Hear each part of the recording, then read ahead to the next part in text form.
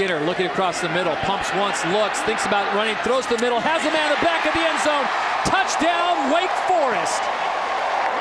Marshall Williams comes up with the grab from Riley Skinner on a five-yard pass and catch, and the Demon Deacons are back in business.